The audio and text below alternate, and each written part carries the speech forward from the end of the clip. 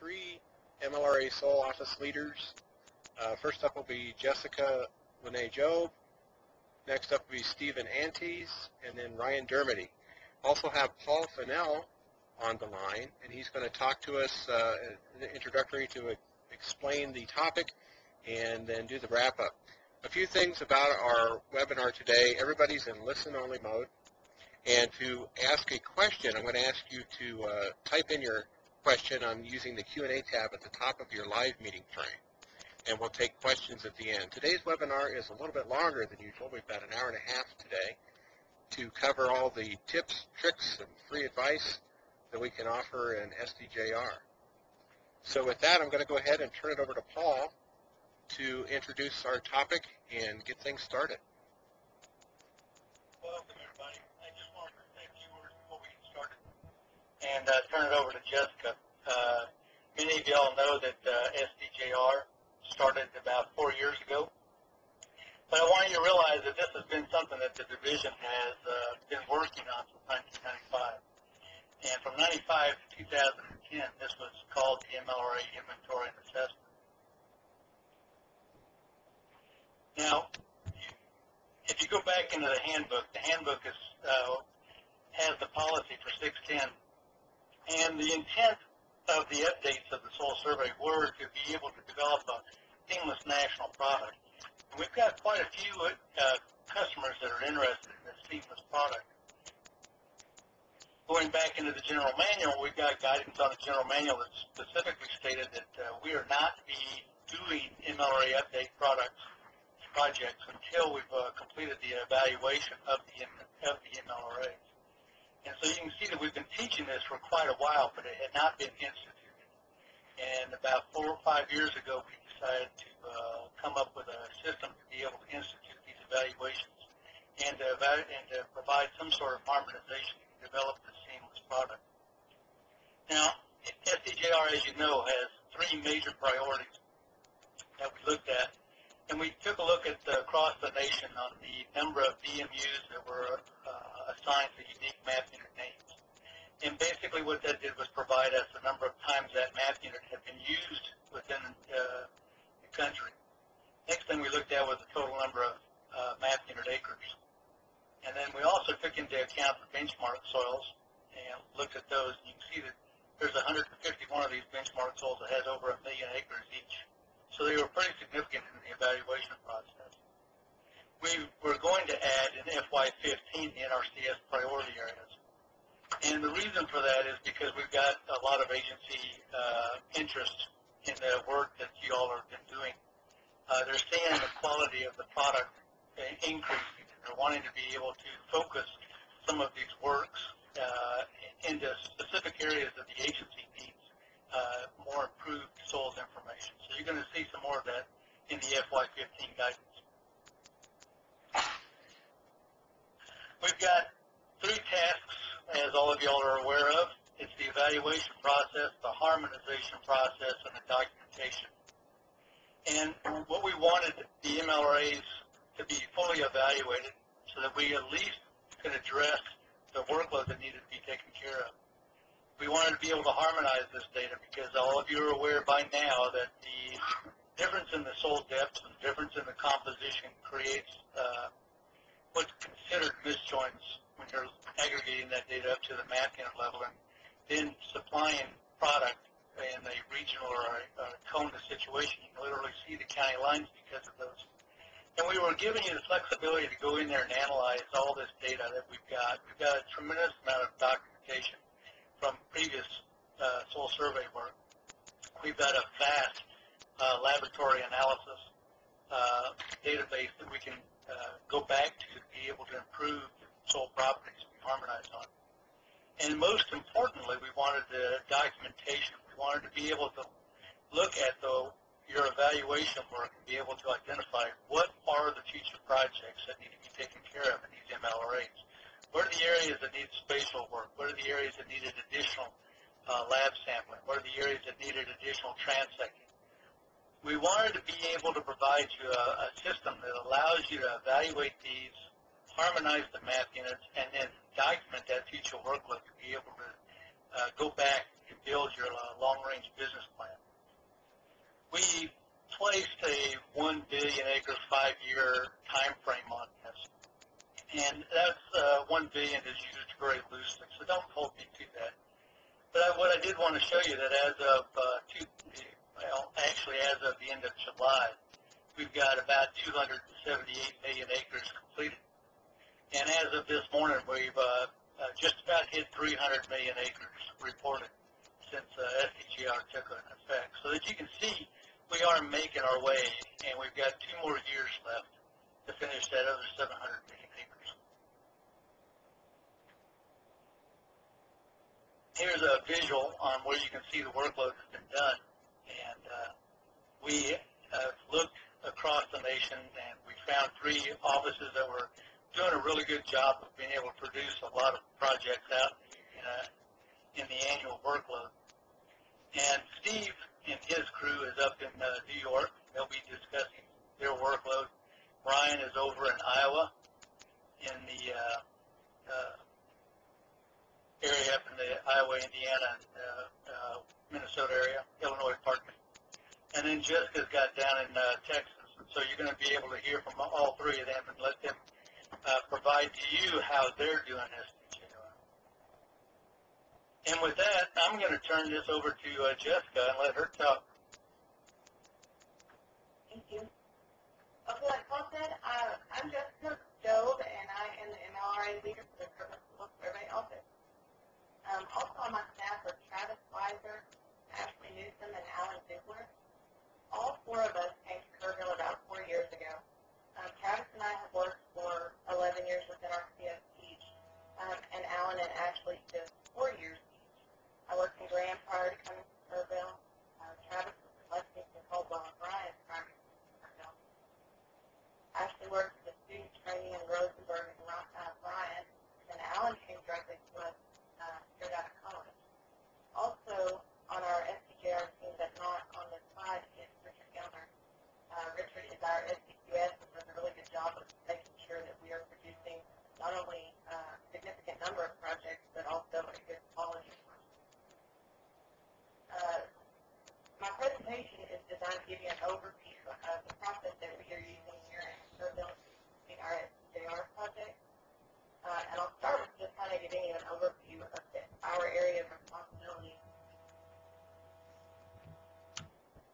Our area of responsibility covers approximately 27 million acres the southwest portion of Texas and the Edwards Plateau and Pacific Lakes region. Uh, we cover MLRAs 81A, B, C, and D, and MLRA 82A. That's approximately 46 counties with 97 soil series uh, and about 1,000 mapping. Year we've completed 53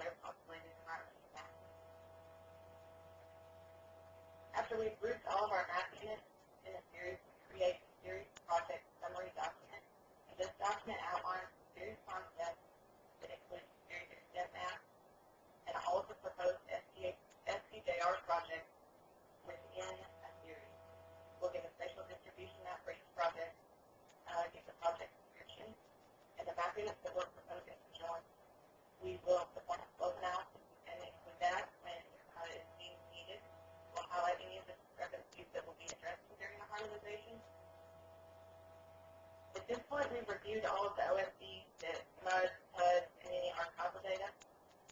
Um, we also include all of the MLRA projects that um, created for series that have been copy and harmonized in another SDJR project. This document has been sent to the SDQS for review and comment. Uh, he then forwards it to the state resource, state and resource law for review. Once all of their concerns have been addressed, then we're good to go begin our work in analysis. And we decided to do this series project summary um, so that we could highlight any issues that we might have uh, when working on these SDJR projects. We wanted to point them out in the beginning so that we didn't get to the very end of our SDJR, SDJR project and then somebody say, oh no, that's not going to work. So we wanted to address everything up front so we didn't have any surprises at the end. Okay, from this point forward, it takes us about six to eight weeks to complete an SDJR for an entire series. When we begin the data harmonization and mapping, like I said, we work by series. Uh, and we always begin with the map unit in which the OSD is located. We want to assume that the OSD is. Uh, we want to assume that the OSD is typical, but we do not. We, look at all of the TUDs and HUDs for all of the uh, map that are going to be harmonized and develop our ranges to make sure that the ranges that we're getting from the MUDs and HUDs also correlate to the OSD. Um, so we look at everything and create our ranges for things like depth, fragments, clay percentages, carbonate. Um, and this provides consistency between same series map. Within, within an MLRA, it expedites the population of subsequent map units. Now, so at this point, we could copy the data map units from this first project, paste it into the next project. But we wait until we've made, we've gotten this project all the way through QA so that we're not copying and pasting bad data. We want to make sure that it's been QA'd and that the data that we're copying and pasting to the next project is good clean data.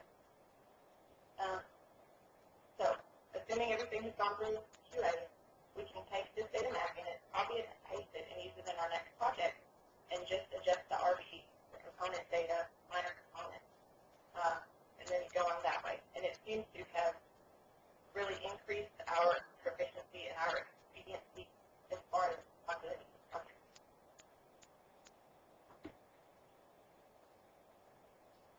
For the component data, um, we're using a 10 meter DEM uh, and running zonal stats and ARC to develop our elevation ranges and RVs for each data map unit. We're also running a simple slope analysis in Excel uh, to determine our slope ranges and RVs when we're dealing with units that have similar but not exact slope phases. This not only helps us determine our slope ranges and RVs, but it also helps us identify map units that need further investigation and update MLRA projects with regard to slope.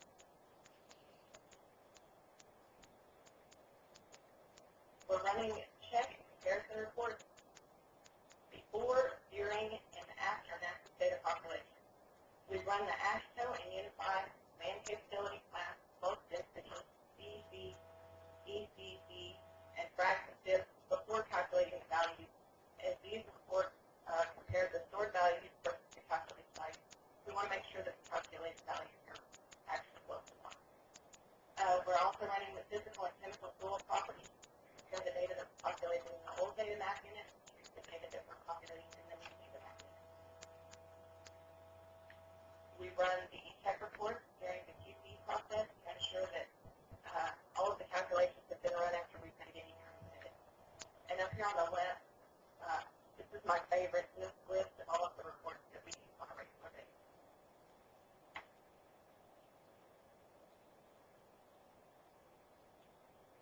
After we've been in all of our data, we run the validations for components, data map unit, horizon, and horizon picture. And I don't have a whole lot to say about that. It's kind of self-explanatory. The only thing I want to say is that just because you get an error, that doesn't necessarily mean that you have an error. You need to look into it before you go adding data or changing data. Um, the one that I get most frequently is I don't have a high and a low populated for my sand fraction. We don't have a huge amount of lab data, so it's hard to come up with a range uh, for our sand fraction. So I didn't mean to calculate anything, but I still get a validation here. After we've done all of this, we review the interpretation to ensure that we haven't caused any unintended changes in interpretation. Um, this is a very small list, but this is a list of interpretations that we most commonly use um, that run below the street, the system, as well as salvation. But we do review these to make sure that we haven't changed any of the data so that it changes the interpretation that we don't want.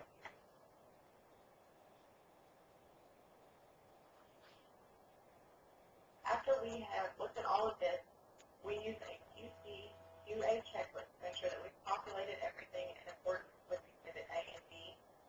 This is a very small section of the QC QA spreadsheet that we use, um, but we use it as a tool to communicate concerns or recommendations population between the SDQS, the MLRA leader, and soil sciences. Our QC QA process begins with everyone in our office uh, completes their own SDJR project. From the GS9 to myself, we'll uh, complete our own SDJR project. Uh, then we submit it to the project leader. He will review it. If he sees anything that he'll send it back and edits are made. Then they'll be sent back to the project leader. He'll review it again. Once he's satisfied, then it comes to me, and I will review it. I'll make my comments and recommendations to the back. Then it'll go to the 11, then back to myself. Once the project leader and myself are satisfied, then we'll send it on to the SDQS. Once Richard looks at it, makes his comments and recommendations, he'll send it back to whoever completed the project. They'll make uh, edits. It'll go to Travis, then to myself, and then back to the SDQS. Um, this, we usually do this about twice.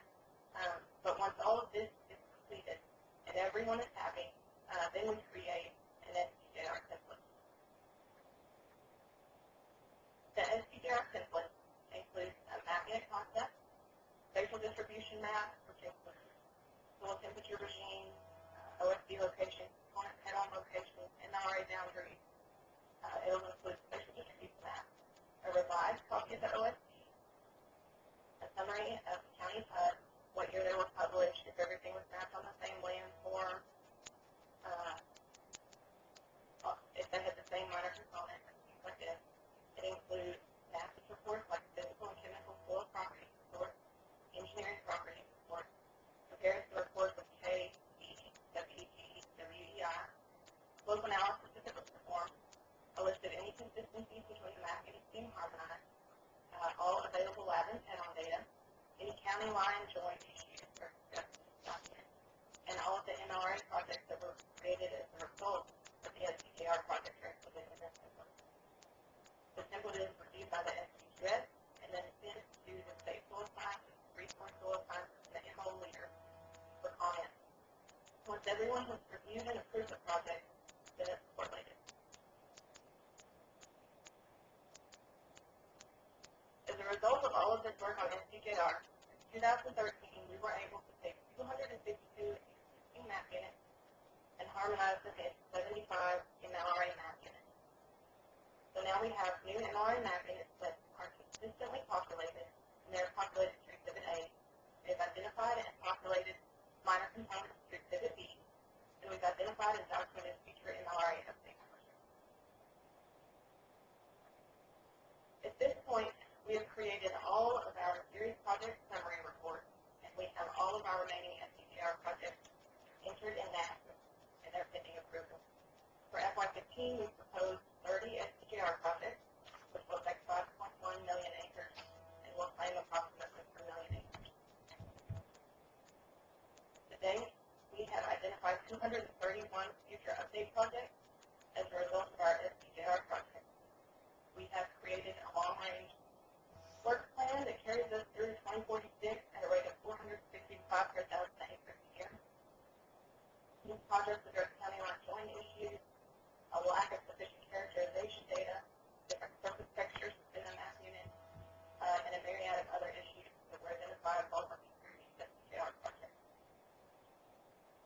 I don't have anything else at this point. Um, like Paul said, we'll take questions at the end.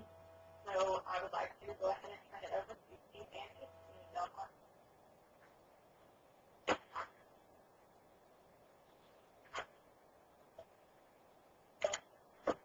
Thanks, Jessica, um, and welcome everybody uh, to the 12 bell portion of the presentation. Uh, what I would like to do today is start by giving you more of a general overview of our office, processes that we use to manage our SDJR workload. And then I will turn it over to Matt Havens, one of the two project leaders here in Belmont, who will go into more detail on a few of the specific processes and tools that we use to help us accomplish our workload. This is the Belmont crew. Um, maybe you recognize some of the names. Uh, myself, Mary Ellen Cook, who uh, recently relocated up here from Virginia.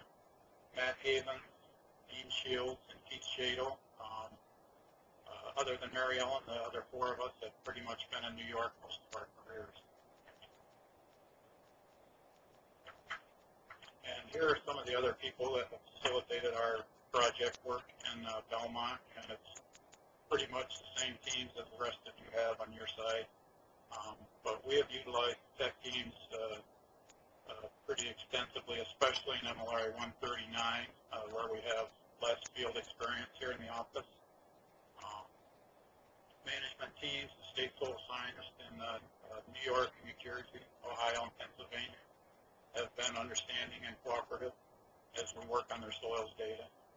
Regional office uh, 12 staff has facilitated the process in a number of ways. Um, we had challenging goals this year, and one thing they did to uh, help with the workflow was require incremental submission of projects for quality assurance and incremental reporting of progress, and that was actually built into our performance plans. And uh, uh, we had a percentage of our goals due each quarter with a balance due on July 15th that helped us stay on track, and it's also helped SDQS uh, do a better job managing their workload and uh, allowing them time to have everything prepared for the annual refresh. Uh, quality, uh, timely quality assurance. Sean has been very good about this, and uh, this has been very important for our project workflow. Um, it allows us to clean up and complete our projects while they're still fresh in our minds.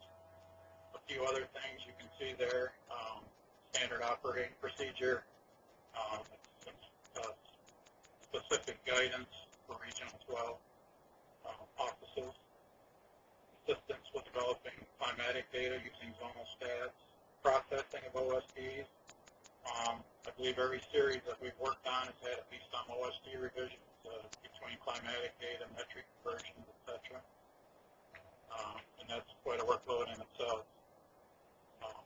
Exhibit A spreadsheet. Uh, we found that useful, and Matt's going to touch on that in a few minutes here. This is our area of responsibility. Um, it's comprised of two MLRAs. 139 is a glaciated Lake Erie Plateau. 140 is a glaciated Allegheny Plateau and Catskill Mountains of New York and Pennsylvania, a little bit of New Jersey. Um, made up of all or portions of 88 counties across four states, and it's a little over 21 and a half million acres in size. According to the national analysis that was completed a few years ago, 12 Bell had one of the highest, possibly the highest, I'm not sure, SDJR workload in the country. And that was based on the number of unique map unit names that could potentially be harmonized. And there's a number of reasons for this. Um, both MLRAs are glaciated and tend to be highly variable. Uh, we have two quite different MLRAs. MLRA 140 is predominantly Inceptisols, and MLRA 139 is predominantly Alfisols. We have a wide range of correlation dates, uh, ranging over 67 years, and that causes uh, differences in mapping and series concepts. Uh, multiple states, differences in slope grouping, sometimes slightly different mapping concepts. That's another challenge. MLRA 140, we have mesic frigid soil continuums. So that's a whole another set of uh, uh, soils that we need to deal with. Um, we're including single map unit DMU projects uh, for each series that we're working on in order to bring them all up to SDJR standards, um, including single map unit DMU phases. And we take a very conservative do no harm approach here in this office, I don't think this can be emphasized enough. So with a large workload that we had, we knew we had to come up with an effective way to manage it. Um, we chose to implement kind of an assembly line or division of duty type approach, which I feel is more more efficient and allows us to deliver the number of projects we need to. Um, it also uh, helps us maintain more consistency in our projects and in our data population. As you can see by the flow chart, uh, we have one GS11 and one GS9 for each of the two MLRAs with primary responsibilities for that MLRA, and there is sharing of duties across MLRAs as necessary. In 2014, the 12 Bell staff completed uh, 150 SDJR projects containing uh, 220 new MLRA DMUs and affecting three and a half million acres. And we just made our goal. This works out to about 30 projects, 54 MLRA map units, DMUs per soil scientist in the office. Uh, a few points to be made here. Most importantly, this is a team effort in Belmont. Everybody has an important role in the process. And secondly, there's nothing extraordinary about what we're doing here. We basically are following the NI and uh, implementing efficiencies and shortcuts whenever possible. Uh, the third point to be made is this is this large workload has required some sacrifices to be made. Um, basically, we're spending almost all of our available time on SDJR in order to stay close to the targeted completion time frame, and this allows very little time for anything else. So far, uh, people have been understanding and uh, have allowed us to focus almost entirely on SDJR here.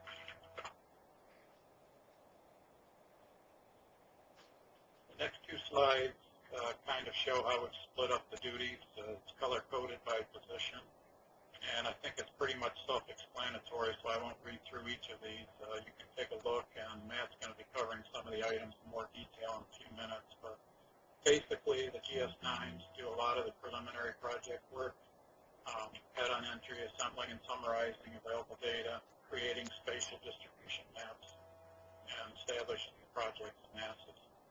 The 11s provide oversight, direction on the projects, and they're responsible for reviewing the assembled data making final determinations on mapping and programs and on typical patterns.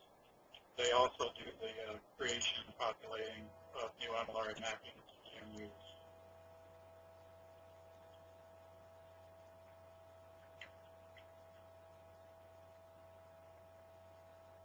This is the second part of that slide. Um, one point I would make is regarding QC, and Jessica touched on it as well, is uh, I also try to do a preliminary check in the early stages of data population uh, of a new DMU in order to catch any potential problems early on.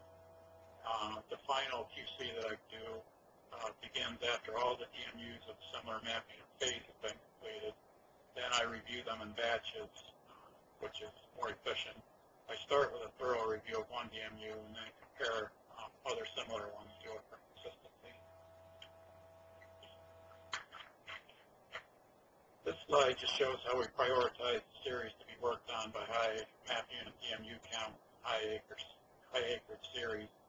Um, and this is nothing new. There's a number of SDJR reports on Pangea that can assist with this. I'm sure uh, most everyone out there is probably doing something similar.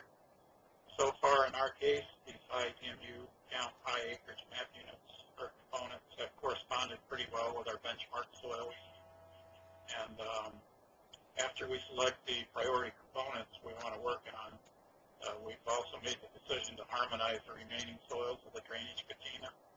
This helps us uh, better manage our overall long-term workload and be more efficient and consistent in our data population. It also allows us to increase the number of completed DMUs each year since catena mates are often listed as minor components. So that's kind of a brief uh, general overview of how we're handling the workflow in Belmont. Now I'm going to turn it over to Matt Havens, who will give you a, a little more detail on some of the specific tools and processes that we have found to be helpful for us.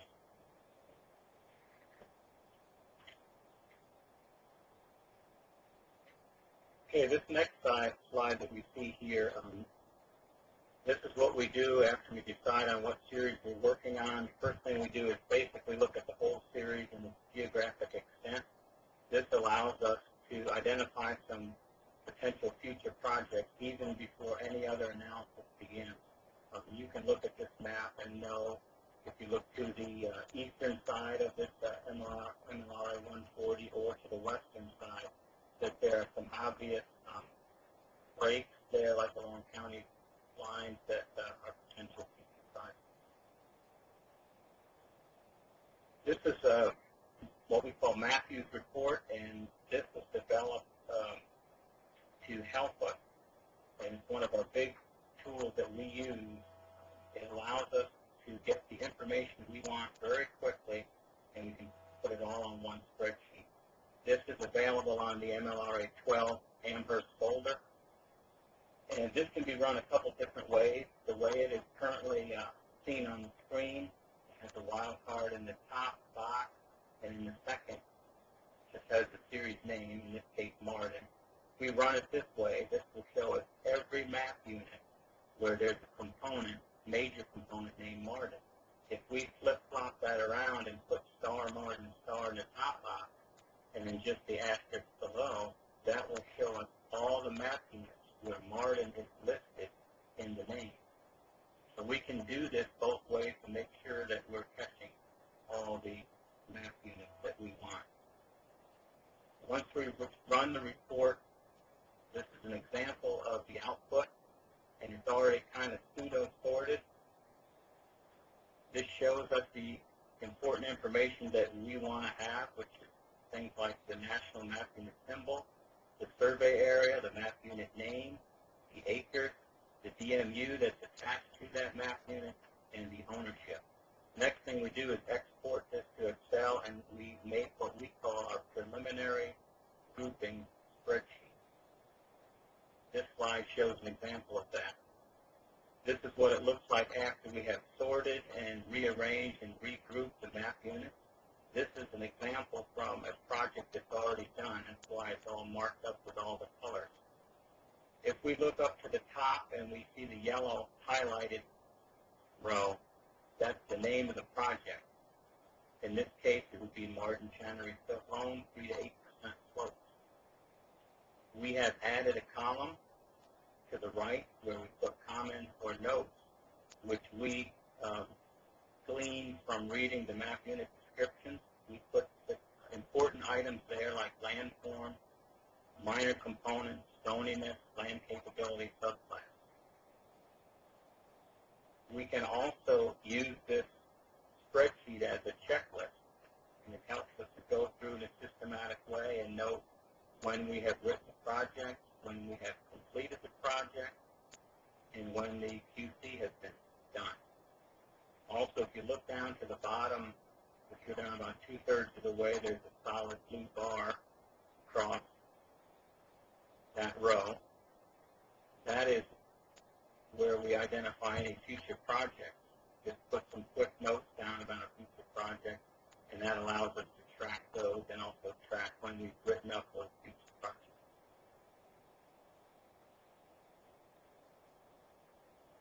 Once we have all this done, we can start to develop the map unit concept. And at the same time, we also analyze and review any available data with the goal of getting values that we can use to populate key data elements in that. For example, particle size separates. We also get statistics from the county typical pedon, and we start to take a look at the current OSD. Is it located where it will make sense? Is it in line with the summarized values from our lab data and our PUD statistics? Basically, does it represent our findings, or is it time to relocate the OSD? This slide shows an example of uh, what we call our TUD stats, and these are gleaned from the uh, TUD, a lot of times right from the manuscript, and in this slide, there the numbers are in inches, and we do a lot of our analysis of some of these basic things right in inches, and then we convert them to centimeters. So we uh, are trying to be a little more accurate that way. Uh, we don't have the luxury of having tons of uh, lab pedons to use, so we put a heavy weight on our TUD, our county TUD pedons. We also know they have gone through uh, quality control and quality assurance. The next couple slides, I want to uh, just show you a few tools um, that we use because Once we get to this stage, we're ready to uh, put these projects into NASIS. One of the things we've developed, uh, basically out of necessity, when blowing out as many projects as we have, uh, we needed a streamlined and consistent way to pump out these project descriptions. So we developed a generic template, and we do this for every series that we work on. We start with this Word doc, and then we copy that and paste it into the NASIS project description text box. Then we go back to our preliminary spreadsheet, that uh, spreadsheet I showed you a couple slides ago that had all the color boxes. We'll go in there and clip out just the parts that we need and paste it in here where you can see uh, two-thirds down, it the paste in project name and county from the spreadsheet. Um, that's what we do. And then once we do that, here's an example of what it would look like. This is an example again of the Mardin Channery Silt loam, 3 to 8% slope. We've gone into that preliminary grouping spreadsheet, clicked out the columns we need, and we paste it right there into NASIS. This will, um, like I said, allow us a quick way to do that. The formatting here is not really great, but the information's in there. Uh, we then note any future projects here, and we're basically done with the project. Another tool that we use is the generic, what we call a generic map unit template. This is, these headings here are based on what you see in the National Instructions 305.6, Section D3, which I'm sure you guys all know. And these uh, headings are then populated with the information we get from our historical research and from the OSD. It's important to note that uh, down on the bottom here we list any items or issues for future MLRA projects. This template is modified and tailored to each SDJR map unit, but it gives us a consistent format to do this. We probably could make this more elaborate or put more uh, information in it, but we wanted to keep it simple and concise in light of the number of uh, SDJR map units that we are pumping out here This is a review of the process flow that Steve went over earlier. What this does is really allow us to be working on multiple series or multiple projects um, at the same time. For example, Keith, our GS, one of our GS9s, can be starting his work on the next series on our work list and getting the project ready for approval and uh, producing the maps, while, for example, I'm doing my part of the Mardin series project, and then Steve can be starting on QC of the Mardin project that I have already finished. Again, we like to do our project in batches, usually all the map units in a series, and then in catenas. That allows us to help populate some of the minor components of these uh, DMUs that we are creating.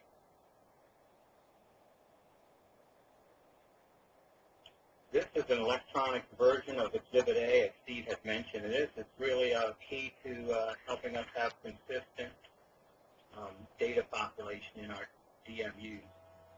This was made as an electronic copy at, the, at our request of the MO12 staff. What we did is took that and we added a few columns you can see out on the right that says done and QC and notes. This helps us to track every uh, data mapping that we're going through. We do it right in the same order. We make notes when needed. If we have uh, something different we're putting in for some of our values or we have an issue with a validation, as Jessica had mentioned, where we think it's not really an error, we can put that in there and then Steve will notice that when he's going through his QC. But this is really a key to uh, our consistency here at Belmont. Uh, you might ask, um, you know, what happened as a result of all this evaluation and, and this harmonization? Well, the result of that, or the answer to that question is future projects, more work to do. Uh, we have identified just over 100 future projects, but this easily could have been more depending on how we wrote them up. In some situations, I chose to lump some SDJR map units into one project rather than just have one project per map unit. But going through this whole SDJR process has confirmed what we already suspected. Basically, that there's a huge amount of work that still needs to be done to improve the maps and the data behind the maps. Future projects that are developed from SDJR are helping us to document what needs to be done so that it won't get forgotten. And we also have the chance to add any of our tacit knowledge that we have for any future soil scientists be here after we're long dead. Um, couple things that you hear around our office during SDJR. Um, we often have to make some hard decisions during the SDJR process. It's not always clean. It's uh, sometimes can be a little bit messy. We also rely heavily on the national instruction. We rely heavily on spreadsheets keep track of the massive amounts of data that we have. We joke a lot that we need a spreadsheet to keep track of our spreadsheet. And you you may have heard the uh, the joke, how do you eat an elephant? One bite at a time. But uh, with our SDJR project, they contain elephants in themselves. So we often joke that we do SDJR one elephant at a time. As Steve said, it's nothing really fancy. We follow the NI, just plug away. That's basically how we do it in Belmont, New York. Next, I would like to introduce Bryan Dermody from the Waverly, Iowa Soil Survey. Well, thank you. My name's Ryan Dermody. I'm the MLRA leader here at Waverly. I have 15 years experience, three as a soil conservationist, and I've worked as a soil scientist throughout Iowa and in Alaska. Our project leader in office is Lee Camp. He has 26 years of experience. He's worked in Fairfield, Iowa, Shotton, Ohio, and Waverly. And Neil, he um, has around 10 years. He's worked as in the cartographic unit and then also as a soil scientist here at Waverly. I guess our, our idea is we start SDJR. The purpose is to organize our knowledge to reveal our ignorance. When I say organize our knowledge, I mean that's where we organize, inventory, and carbonize it. It's the organization. And once we've done that, we reveal our ignorance. Once we reveal that ignorance, we can then um, start making projects to alleviate that. So, um, give you a background on our area. Waverly Soils Office um, covers two MLRAs, 104 and 108C. We're in three states, Iowa, Minnesota, Wisconsin. We have 11 geomorphic areas, 55 soil survey areas. We have 601 unique component names for theory. We have, four, before SDJR started, we have 4,620 map units, and our area is about 12.8, 12.9 million acres. Um, kind of the timeline for us in Waverly, um, August and September, we do a lot of time getting projects ready for next year. We analyze, um, write up, and propose them. Um, we present them at the tech meeting, usually in August. We try to have them all approved starting October 1. October through June, we work on our projects. We try to get them done by June. That way we give our data quality specialist, region office, time to go through all of them and make sure they complete their task in time.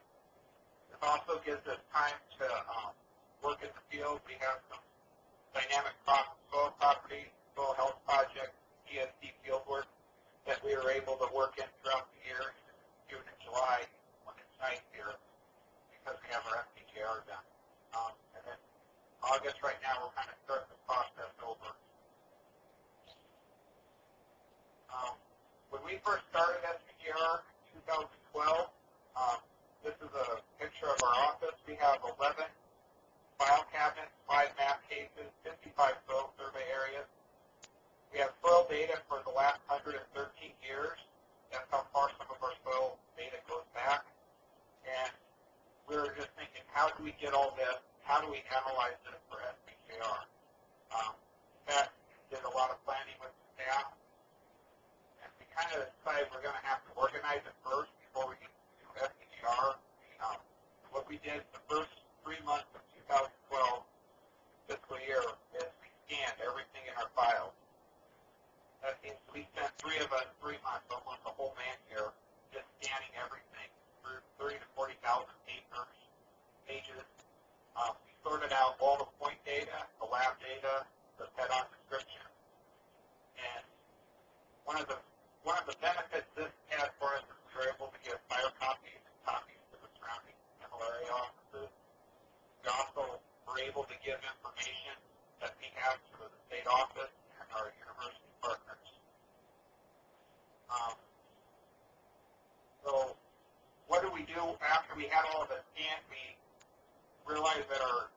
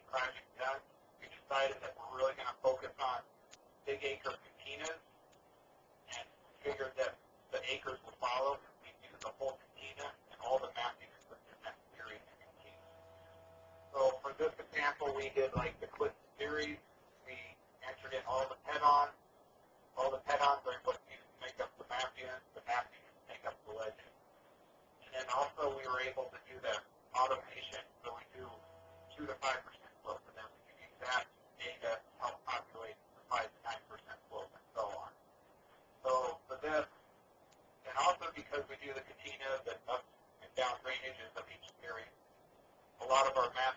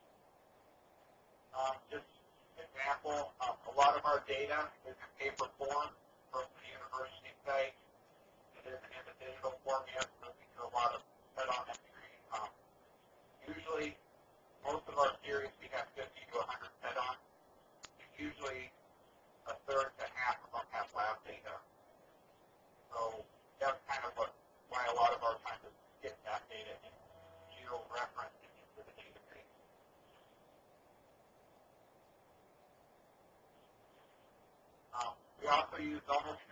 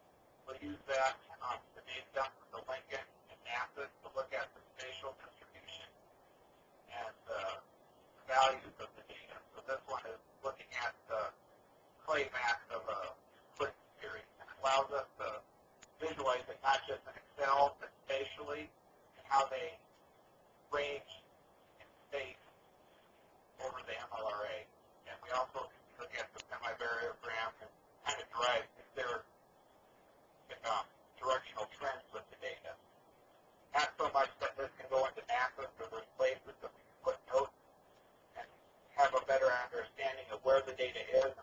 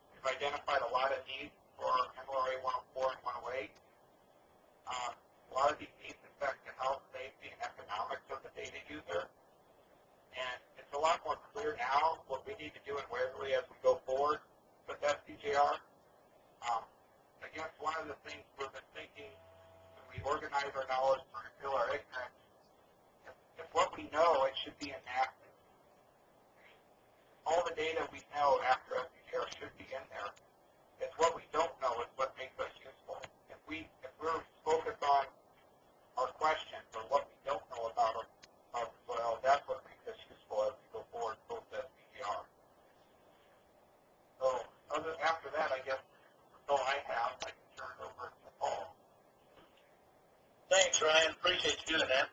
I hope y'all have seen now that we uh, don't have one mold that fits all SDJR. Uh, each one of these offices has adapted to be able to produce their own products.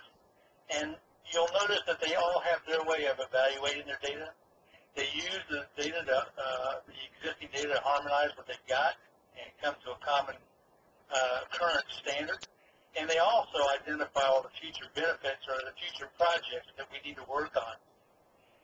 And so when you look at this, you're, you know, a lot of people are asking, why are we doing this?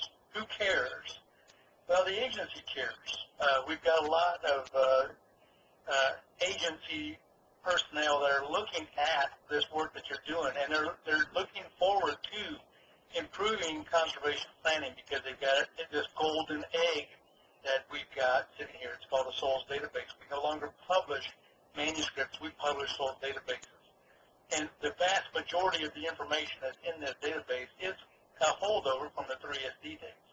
And the work that you're doing right now, you're improving that product because uh, just using the lab data, using the uh, existing documentation to bring this all up to a common standard has definitely improved the, the uh, product and our customers, our primary customer being the agency, has begun to notice that. And they're wanting this product completed as soon as possible.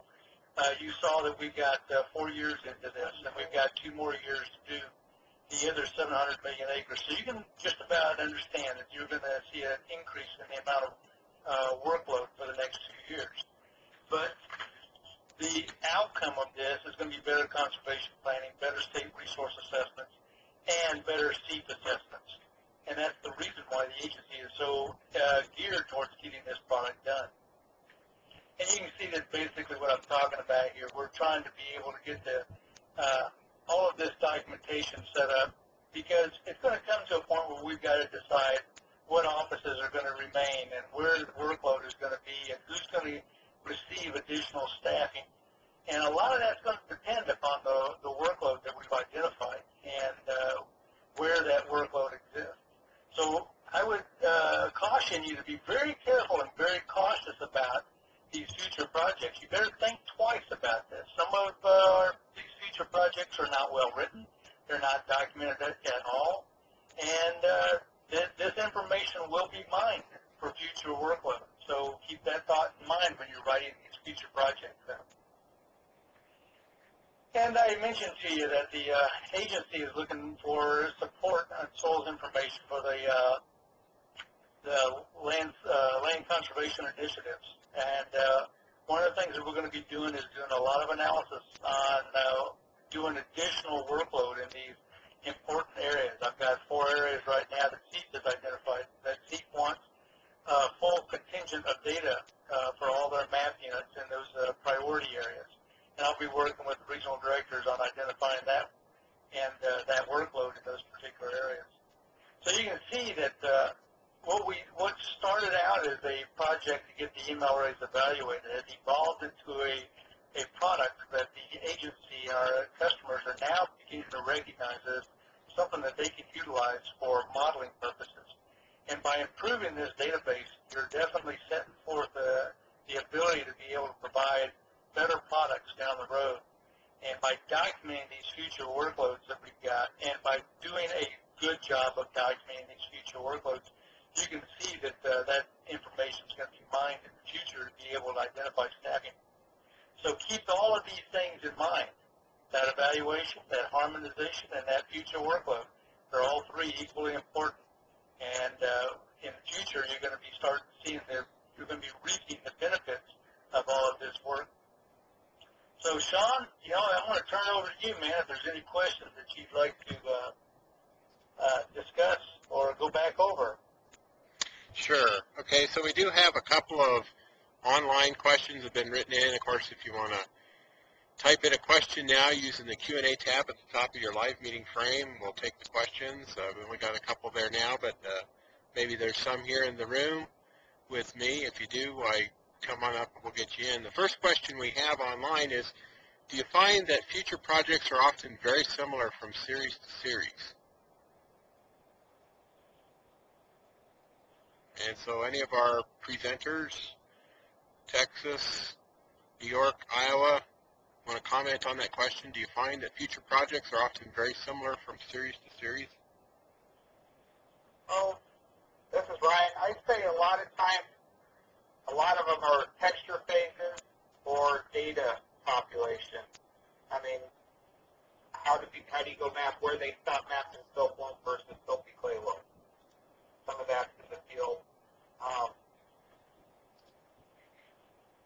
yeah, I'd say a lot of texture things, but also a lot of data, like the, the KSAT data. I can see that being an issue. It's better defined because some of the when we look at a lot of the interpretations that are derived from these components, a lot of them are based on saturated conductivity, organic matter, and we don't have a lot of good data on that. So a lot of our projects are collecting better data to show what's happening on the different phases. All right, another question, and Ryan, this one is for you, refers to your last slide, but it says, can Ryan expand on what he meant by the statement concerning the health, safety, and economics of the soil data user in the last slide? Sure. Um, I guess back to the properties, a lot of our data is used for interps by not just us, but other government agencies. So, for example, how we populate the data, where we put our depth phases, our saturated conductivity, our clay max, that affects properties like large animal burial sites, septic systems, the suitability for septic systems. Um, a lot of farmers here in Iowa, they the DNR requires them to use our maps of where they can put animal manure or um, city human waste and stuff. And we can really greatly affect that by how we populate these data if we don't do a good job. Um, as far as economics, here in Iowa, whole farmland is based on the soil survey. It's written into state law. So depending on how we populate it or what minors, we can we do affect what the the, the assessed land value will be. And we could, depending on minors, we can up that a point or two with the corn suitability rating. So we have to have good records and things to justify what we did because we will have people coming to us, or at least the resource soil scientists or the state soil scientists asking why it changed, what was the reason it's changed. So it's real important to document them into NASIS so we can justify what you've done because people are looking at it. All right. Uh, I know we, you know, as Paul mentioned, there's no one way to do SDJR, and we heard three different approaches to how to do these. But nobody talked about the use of Microsoft Access. Do any of you use that tool?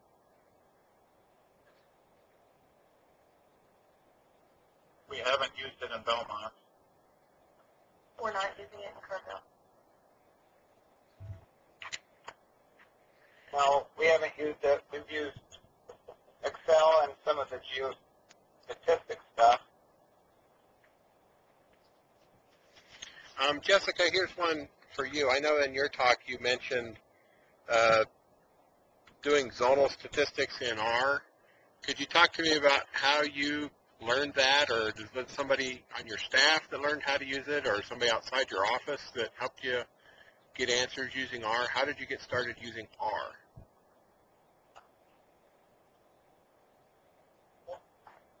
Maybe there was a, a miscommunication.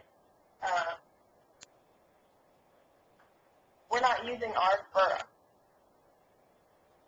Okay. I'm sorry, we're using zonal statistics in our map. In ArcMap. Uh, Okay. yeah. Another online question. How much of the components info within SMU is being retained and or lost? How much of the component info within a soil map unit is being retained and or lost? Yeah. Well, I guess here in Iowa, the old one will be linked with the new map unit, it's just deactivated. We basically start from scratch using PEDON data, especially if the component, the only thing we have is a H1, H2, H3. We'll, we'll develop a whole new component. So to answer that, uh, Sean, technically nothing's being lost. Nothing's being deleted. It's all being retained. And if properly correlated and worked on, then uh, everything is archived and available for use in later years. All right, another question. Are parent material kind, origin, and order reviewed and populated when soil catenas are evaluated? And the question's for all the presenters. Are parent material kind, origin, and order reviewed and populated when soil catenas are evaluated? Here in Yeah, Kerrville, this- they. This is Matt in Belmont, and yes, we do that. When we will go through a catena, we usually use the same uh, information. Yeah, this is Brian in Waverly. Yeah, we look at that also. And also we look at the geomorphology and make sure that geomorphology is in agreement with the catena landscape, landform landscape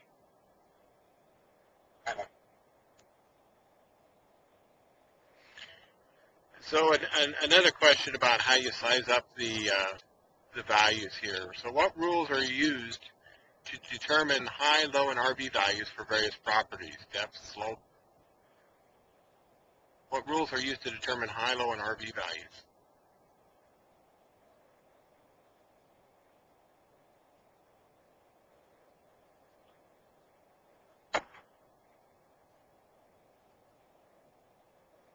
Don't know if there is a one set rule for every series.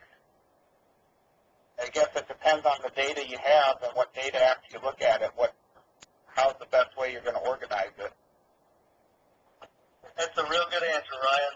It's all dependent upon the data you have and the person analyzing.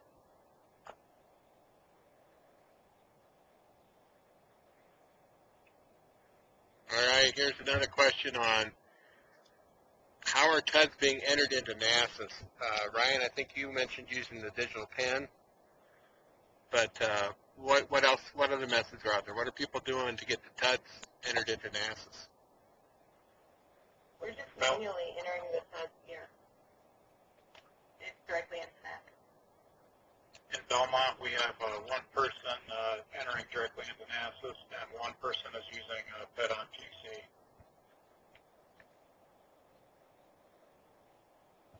Okay. Yeah, we use the pen for about half of our pedons, but the pen doesn't allow for the lab data. So when we do the digital pen, it's probably half to three quarters complete once it's imported into NASIS.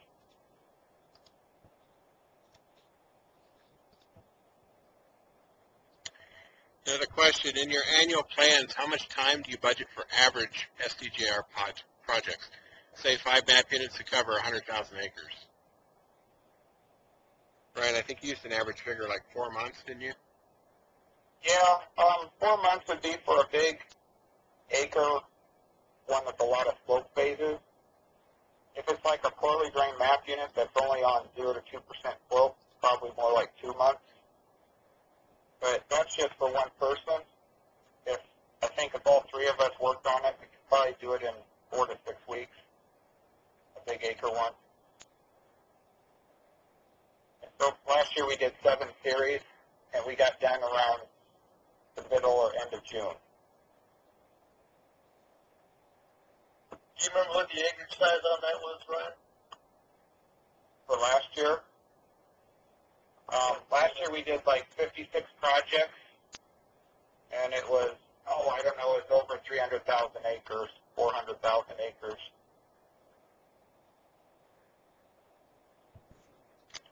All right. Uh, in your uh, projects, is your future work, is the need for additional lab analysis identified?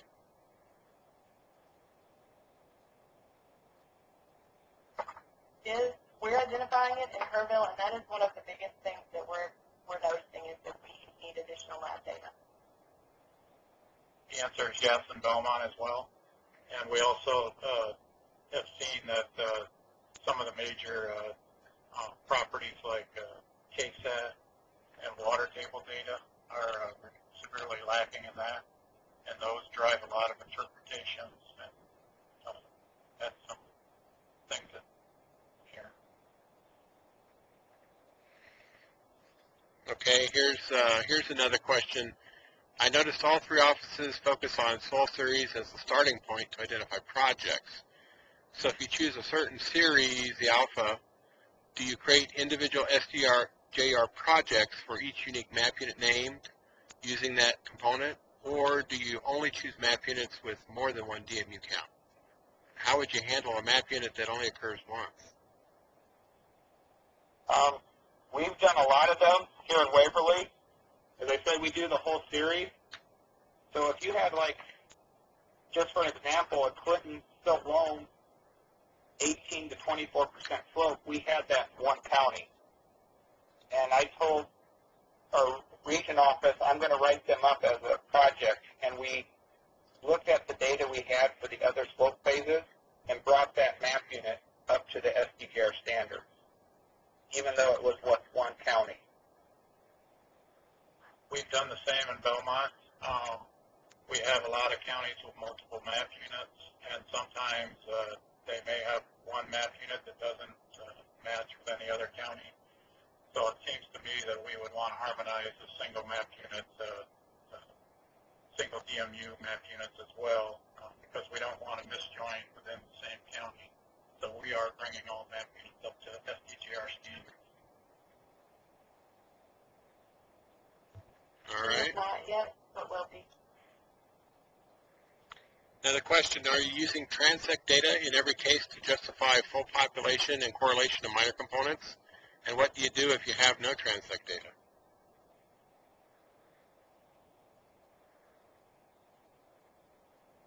Um, a lot of our map unit descriptions will say minor components or not so many terms like soils that are poor drained or within this map unit. I guess we use tacit knowledge to know if it was a Clyde or a Floyd map unit, the poor drained version of Floyd would be Clyde. So we can infer some of the minors based on the full description. In Belmont, it's also based largely off the uh, map unit descriptions. Kerrville as well, the map description. All right, any other questions?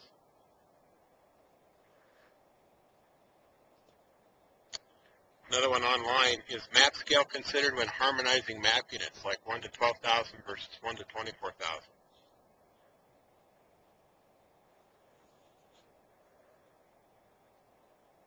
All of ours are the same in Kerrville, so that's not an issue for us. I guess in Waverly we have about a quarter or a third or 1 to 12,000 and the rest of 15840, so they're pretty close already. That's similar in Belmont, uh, between one fifteen eight forty and one twenty-four thousand. Uh, we haven't taken into account that scale.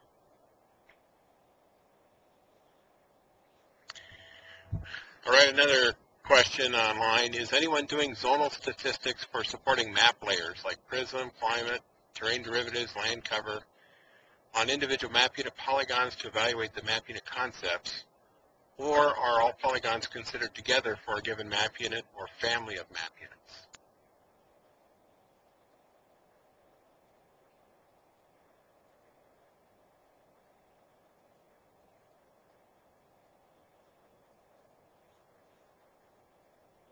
Um, here in Waverly, we run it on each map unit. So we'll run zonal statistics on like elevation or prism data. Come out pretty close anyways, but yeah, that and the land cover, we've been putting that in just thinking that might be useful as we go into ecological site description for each map unit.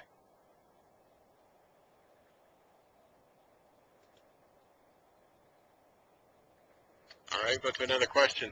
Has anyone harmonized a map unit that crosses several MOs but remains in the same MRA?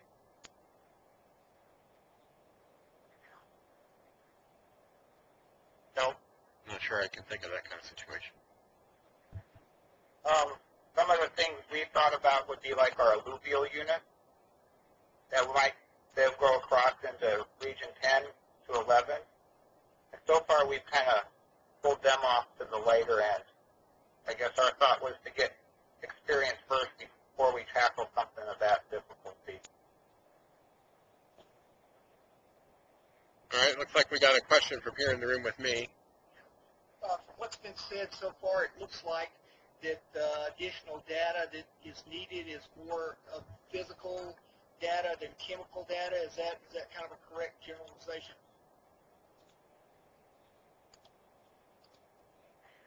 Not here, we kind of, we're lacking lab data and we need both physical and chemical lab data.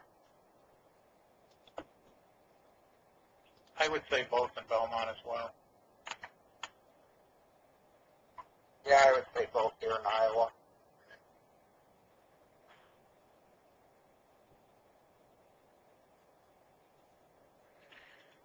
So for Paul, or maybe some of the people at headquarters, uh, any guidance on what goals will be for 2015? Is it going to be acres, project numbers?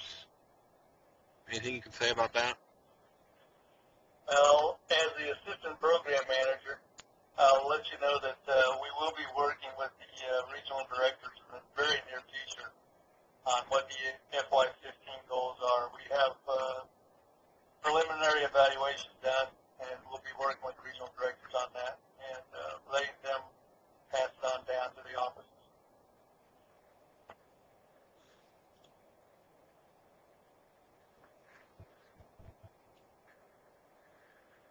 So here's a question. Uh, is SDJR having any positive effect on making the map seamless, or just concentrating on tabular solely?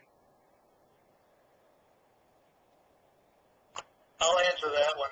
Uh, and the reason why I'll answer is because the spatial is will come later. Right now, SDJR is focused on getting the tabular data up to a common standard so that we can begin using this uh, data for our future analysis. And it's future analysis that's right now the agency wants. And so once we've got that taken care of, then we'll begin working on the spatial work.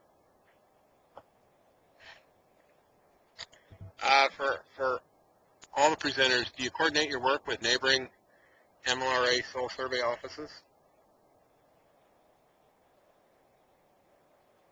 We do keep in touch with uh, neighboring MLRA offices uh, to ensure that we're not both updating the same map unit where they where map units uh, overlap an MLRA boundary. Belmont, we, uh, we do communicate with the neighboring MLRAs. Um, it's, it hasn't happened yet where we were doing them at the same time, same components. Here in Iowa, I, I usually invite all the surrounding office leaders to the technical team.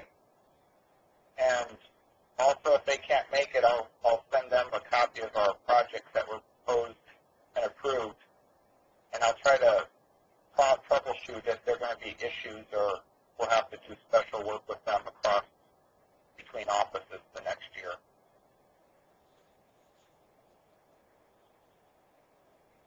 All right. Do most of your future projects need transects to verify composition and component population? Yes. Yes.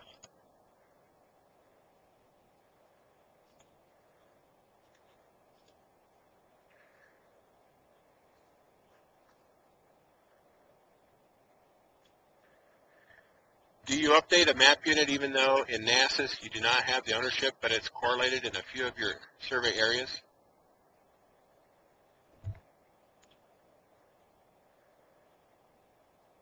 Yeah, if we think it should be in the project, I'll work with that adjacent office leader and explain why. And we'll, we'll trade ownership. We've done that with Missouri offices and Illinois or, or Minnesota offices. That's the same in Belmont. Uh, a lot of the map units occur along the fringe of the MLRA boundary. And uh, due to the scale of the MLRA map, uh, there's going to be overlap of our map units into adjacent MLRAs, but we still take uh, lead on those map units. That's same here in Kerrville. We just communicate with the adjoining MLRA offices, trade ownership.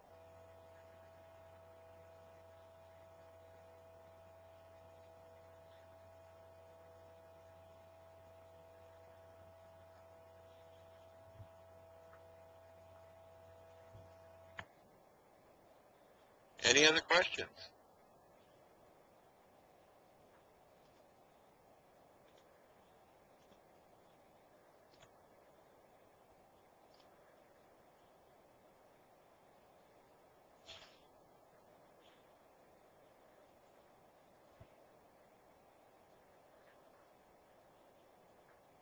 Paul, any closing comments?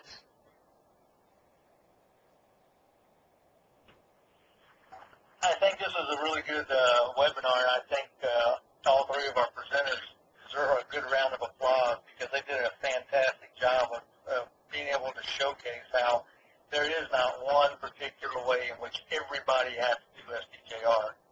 And uh, I, I thoroughly appreciate uh, Steve, Matthew, Jessica, and, and Ryan for y'all taking the time to do this. And uh, I can see by the questions that we had some really good uh, uh, really good question and answer period. And as always, you know, you got your uh, SDQSs and your senior regionals available to you. The senior regionals meet every month and discuss any issues on the SDJR. So, uh, you know, stay in communication. The reason why we had this webinar was to basically communicate to you that there is a process, that this is a need, this isn't something that one person just happens to dream up to keep you busy. This is uh, uh, basically driven from the agency wanting good, solid data. And as I said, a database is what we're publishing, and you need to understand the agency realizes that. The agency wants that golden egg because there's no other agency in the country that has that.